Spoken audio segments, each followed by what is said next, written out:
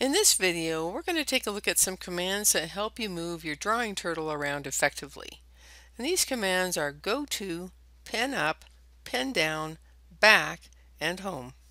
Here's an example. This code created a turtle, and then we have the turtle move 50 along the x-axis.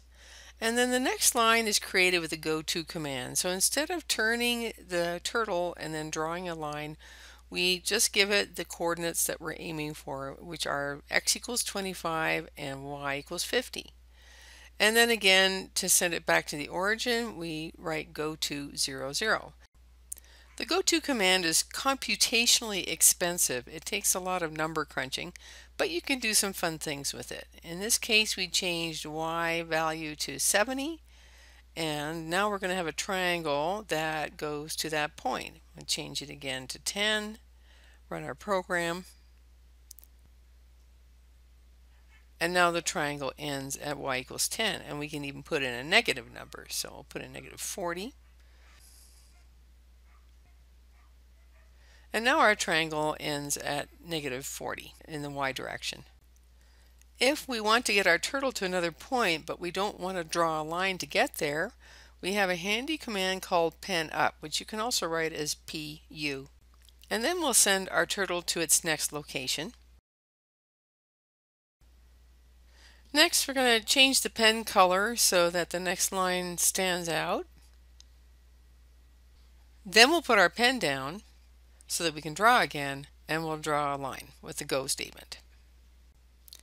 Pen up and pen down are terms that are used with pen plotters where you literally lift the pen up to move the pen over without drawing a line and then put it back down again to continue drawing. So that's where those terms come from and you can write these as PU or PD to abbreviate them. Let's run our program to see what happens. Did you expect to see that red line take off at that angle? Well, how did that happen? Let's step through the code to check on the turtle behavior.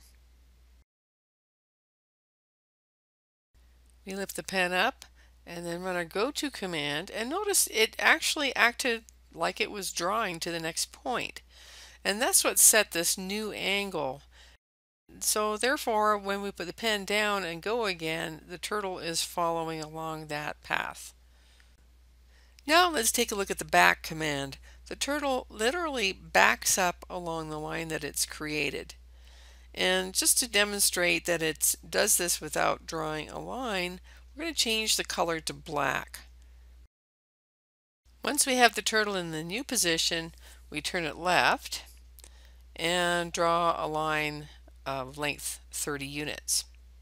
Let's run the code and see what happens. As you can see, the turtle did not draw a line when it backed up, otherwise that line would now be black.